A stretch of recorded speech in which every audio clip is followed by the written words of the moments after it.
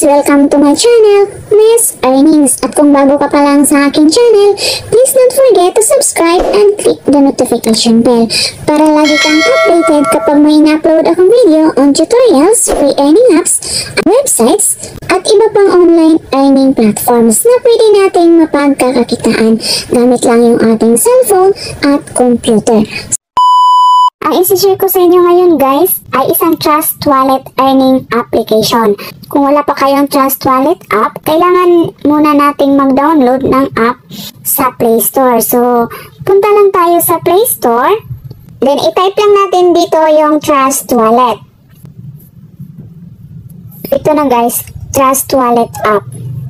I-install lang natin ito guys sa ating device. Then pagkatapos natin mag-install, i-click lang natin itong open. So ito na yung ating Trust Wallet guys. Then, dito guys sa platform na ito, BIP20 USDT yung gagamitin natin sa platform na ito. Then magmimina lang tayo dito guys ng BIP20 USDT. Kikita tayo dito per hour. Kailangan ding may laman yung ating BNB Smart Chain ng 0.00042 BNB.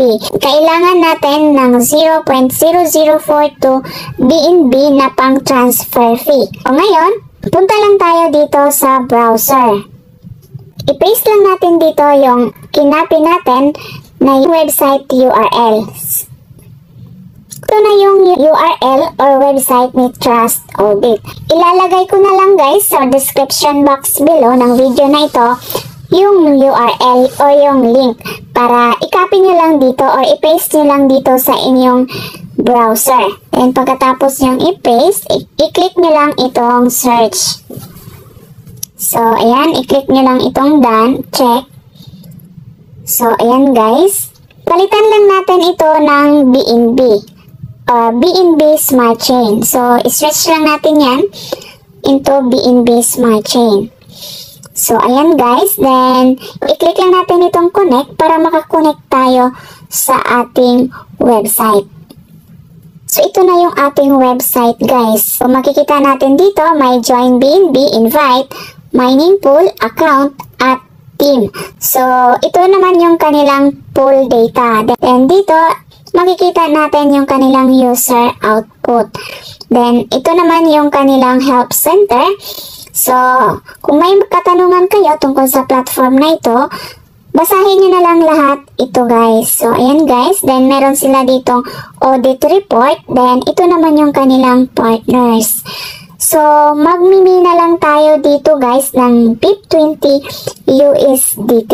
So, para makapag-join tayo dito, punta lang tayo dito sa Join BNB. Para kikita tayo dito guys ng commission, punta lang tayo dito sa Invite. Kikita natin dito guys yung ating share link. I-click lang natin itong copy Then, i-share lang natin ito sa ating friends sa Facebook, YouTube, Telegram, Telegram groups, Facebook groups, Instagram, TikTok, Twitter, at sa iba pang social media platform.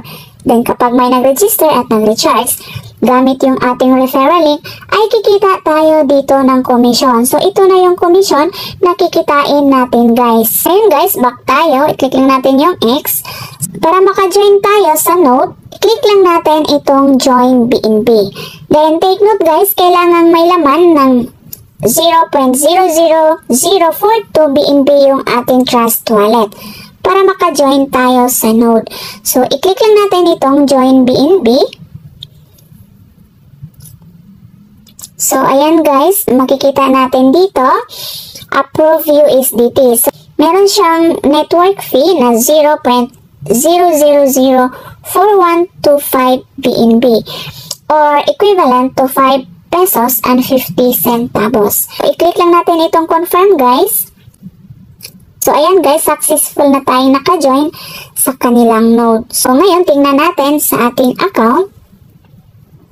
Ayan guys, makikita natin dito yung ating wallet balance is 5 USDT. Kikita natin dito guys, yung kanilang mining power is 2,000 gigahash per seconds. After 1 hour guys, ay pwede na tayo ditong makapag-generate ng ating income.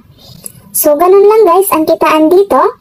Magmimina lang tayo dito ng BIP20 USDT. Mag-join lang tayo sa node.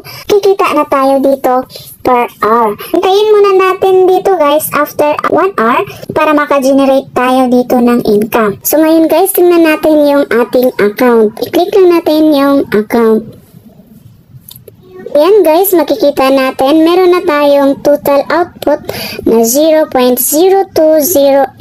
0.02082 USDT. Nakapag-generate na tayo ng income after ilang hours. Makikita natin dito yung ating exchangeable is meron na tayong 0.02 0832 USDT. So, ganyan lang guys kadali kumita dito. Para ma-withdraw natin yung ating ex exchangeable na 0.020832 USDT, i-click lang natin itong redeem all. I-click lang natin itong confirm, then automatic na yan papasok sa ating Trust Wallet. So, i-click lang natin itong confirm. So, ayan guys, successful na siya. So, kita natin dito guys, zero na yung ating exchangeable. Ngayon, tingnan natin sa ating Trust Wallet kung pumasok na yung ating withdraw.